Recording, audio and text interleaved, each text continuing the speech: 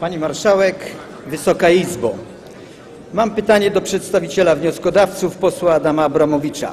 Ilu po Polaków otrzymało w ostatnich latach bankowy tytuł egzekucyjny? Jaka to jest skala? Co stało się z projektem Ministerstwa Gospodarki dotyczący BTE? Wysoka Izbo.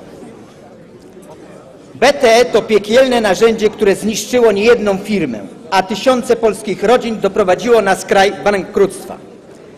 Wysoka Izbo, tytuł egzekucyjny to egzekucja dla tych, którzy wpadli w tarapaty kredytowe. Krzo, ktoś krzyknął, a kto jest temu winien? Kto jest winien? A no właśnie, Polacy, gdy usłyszeli, że żyją na Zielonej Wyspie, zaczęli brać kredyty, a więc winien jest. Donald Tusk jest winien. Ale, Wysoka Izbo, a kto Donaldowi Tuskowi podpowiedział, że to jest Zielona Wyspa? Rostowski.